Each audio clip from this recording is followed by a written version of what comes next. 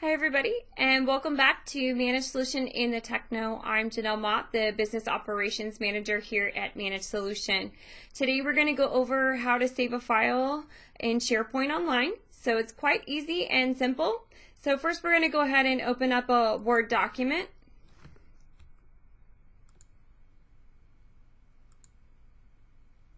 And then we're going to go ahead and type out the name. Let's go ahead and just going to change it real quick and put manage solution.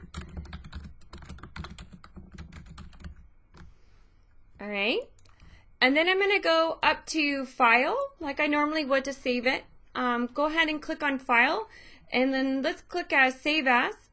And then it's going to pull up over on the left hand corner. You'll see sites. I've got OneDrive to manage solution, OneDrive personal, or other web locations let's go ahead and uh, click on sites there and then I'm going to browse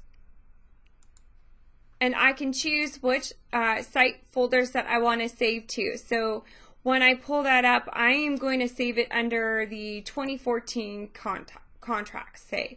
Or if I got, want to go ahead and put that, I'm going to call it test 2 and save it under the 2014 contracts document there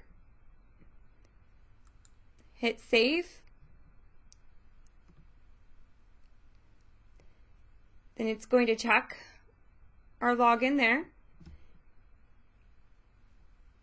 And that is all you have to do. It's very simple, very easy. It's like saving a normal document. Um, and so